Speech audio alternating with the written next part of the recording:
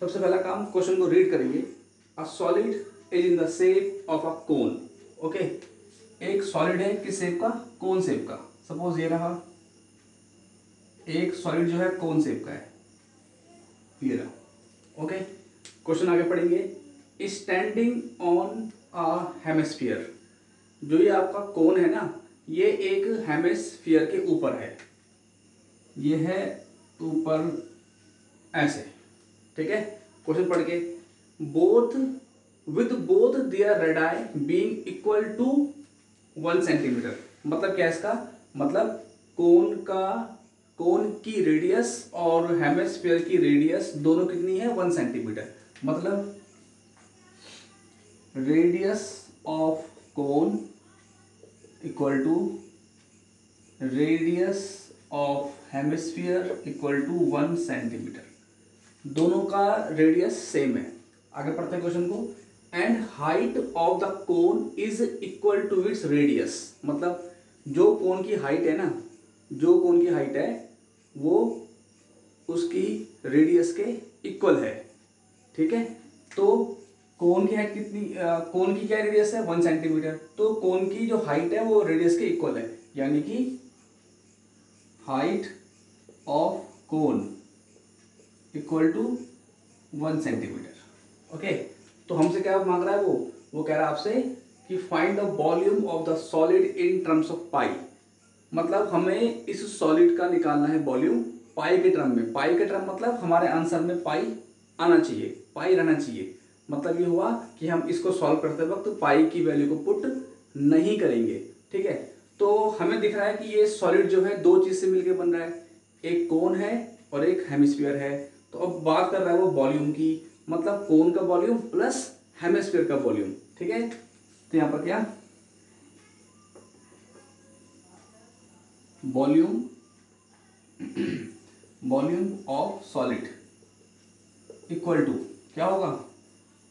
Volume of cone plus volume of hemisphere ठीक है? Cone का वॉल्यूम होता है? One upon three pi r square h hemisphere का वॉल्यूम होता है two upon three pi r cube okay question को इजी बनाओ। जितना कॉमन हो सके कॉमन ले लो। ठीक है? तो कॉमन क्या आ रहा है? एक तो आ रहा है pi r square upon three ये कॉमन आ गया। ठीक है? तो यहाँ बचेगा हमारे पास एच और यहाँ बचेगा हमारे पास टू आर ओके अब हमने पाई नहीं रखना, क्योंकि आंसर मांग रहा है पाई के टर्म में तो हम पाई पुट नहीं करेंगे। तो पाई आपका ऐसे रहेगा। आर कितना है? रेडियस कितनी है? वन ठीक है? तो वन का स्क्वायर हाइट कितनी है कौन की? वन और रेडियस वन ठीक है? तो कितना हो गया इसका आंसर? वन का स्क्वायर वन होगा।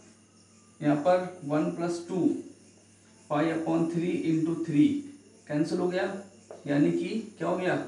Pi centimetre cube. यानी कि जो जिस सॉलिड का वो वॉल्यूम मांग रहा है, उसका वॉल्यूम आया पाई सेंटीमीटर क्यूब ओके सबसे पहले क्वेश्चन को रीड करेंगे हम। देखिए Rachel and engineering student was asked to make a model shaped like a cylinder ठीक है? रचेल एक इंजीनियरिंग स्टूडेंट है। और उससे कहा गया एक मॉडल बनाने के लिए जो सिलेंड्रिकल शेप का होगा। आगे पढ़ते हैं। With two cones attached at its two ends मतलब कुछ ऐसा बनेगा। ये आपका एक सिलेंड्रिकल मॉडल है ओके और क्वेश्चन में कहा इसने कि इसके दोनों एंड्स पे, इसके दोनों एंड्स पे दो कोन्स होंगे ओके तो एक कोन सपोज़ ये हो गया और एक कोन ये हो गया। ओके तो कुछ ऐसा है मॉडल ठीक है? आगे बोल रहा है जो मॉडल बना है, ये एल्यूमिनियम सीट से बना हुआ है, ठीक है? इस प्रकार का। ये हिस्सा सिलेंड्रिकल बाकी कोन और एक कोन देखिए the diameter of the model is three centimetre जो ये मॉडल है ना, इसकी डायमीटर कितनी है? थ्री सेंटीमीटर यानी कि डायमीटर थ्री सेंटीमीटर मतलब सिलेंडर के लिए भी थ्री सेंटीमीटर डायमीटर होगा और कोन के लिए भी डायमीटर थ्री सेंटीमीटर ही होगा। ठीक है? तो यहाँ पर डायमीटर ऑफ़ मॉडल कितना? थ्री सेंटीमीटर तो इस हिसाब से रेडियस कितनी हो गई? थ्री अपॉइंट टू सेंटीमीटर तो ये रेडियस कोन के लिए भी सेम होगी और सिलेंड्रिकल पार्ट के लिए भी सेम होगी, है ना? आगे बढ़ते हैं. And its length is twelve centimetre model की पूरी लेंथ कितनी हो गई? ट्वेल्व सेंटीमीटर चेक कर लो. मॉडल की पूरी लेंथ हो गई ट्वेल्व सेंटीमीटर, ओके? यहाँ से लेकर यहाँ पर तक। आगे देखिए। If each cone has a height of two centimetre जो कोन है उस, उसकी हाइट कितनी है? टू सेंटीमीटर कोन की हाइट है टू सेंटीमीटर यहाँ से यहाँ तक। इसने बोला ईच कोन ईच माने दोनों कोन ठीक है? इसकी हाइट है टू सेंटीमीटर और इसकी हाइट है टू सेंटीमीटर ओके तो कह रहा है आपसे find the air find the volume of air content in the model मतलब इस मॉडल में कितनी हवा होगी? ठीक है? तो हवा कहाँ होगी? हवा कोन में होगी, हवा सिलेंड्रिकल पार्ट में होगी और हवा इस कोन में होगी। तो साफ़ मतलब है, जब हवा कोन में होगी तो वो कोन के शेप में होगी मतलब कि वॉल्यूम ऑफ़ कोन। जब हवा सिलेंड्रिकल पार्ट में होगी तो वो सिलेंड्रिकल शेप में होगी मतलब वॉल्यूम ऑफ़ सिलेंडर और यहाँ पर भी वॉल्यूम ऑफ़ कोन तो क्या बनेगा इसमें? Volume of cone one upon three pi r square h plus volume of cylinder pi r square h plus volume of cone one upon three pi r square h ठीक है? क्योंकि ये पूरा model जो है, एक सिलेंडर और दो कोन से मिलके बना है और हमको निकालना है वॉल्यूम हवा का। तो हवा इस पूरे मॉडल के अंदर होगी तो यानी कि वॉल्यूम का दो कोन का वॉल्यूम प्लस एक सिलेंडर का वॉल्यूम, ठीक है? अब यहाँ पर प्रॉब्लम क्या है? हमारे पास सिलेंडर की हाइट नहीं है। ये हाइट तो कोन की हो गई। किसकी हो गई? हमने कोन की हाइट को एच वन मान लिया, ठीक है? देखिए हाइट ऑफ़ कोन। इसको मान लिया एच वन कितना है? टू सेंटीमीटर कितना है? टू सेंटीमीटर हमको सबसे पहले निकालनी पड़ेगी सिलेंड्रिकल पार्ट की हाइट जो एच जो हम मानते हैं एच टू जो मानते हैं एच टू तो कैसे निकालेंगे? ये हाइट तो कोन की हो गई। इतनी हाइट कोन की हो गई। दो और दो, हमको ये हाइट चाहिए एच टू तो एच टू हाइट है सिलेंड्रिकल पार्ट की। तो कैसे निकालेंगे इसको? सिंपल सी बात। इस पूरे मॉडल की हाइट कितनी है? बारह सेंटीमीटर है ना? और बारह में से इतना कितना हो गया? टू इतना कितना हो गया? टू यानी कि चार। चार तो हो गया कोन के पास। कितनी बचती? आठ। यानी कि आठ सेंटीमीटर होगी इस सिलेंडर की हाइट ठीक है? तो कुछ ऐसा होगा देखिए। इसको मान लिया h one height of cylinder इसको मानते हैं एच टू कितना होगा? ट्वेल्व में से फोर माइनस कर देंगे। ये पूरा बारह है तो दो यहाँ से माइनस दो यहाँ से माइनस तो फोर हो गया। कितना? एट सेंटीमीटर यानी कि जो हमारा सिलेंड्रिकल पार्ट आया, उसकी हाइट कितनी हो गई? एट सेंटीमीटर अब हमें निकालना वॉल्यूम तो volume of cone plus volume of cylinder plus volume of cone ठीक है? तो मतलब क्या हुआ?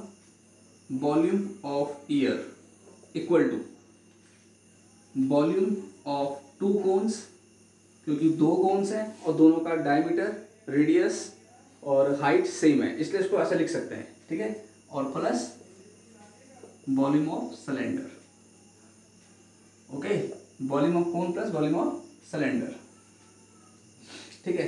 देखिए volume of cone one upon three pi r square h और कोन की हाइट एच वन मानी हुई तो एच वन और कितने कोन है? दो कोन तो इंटू टू ठीक है?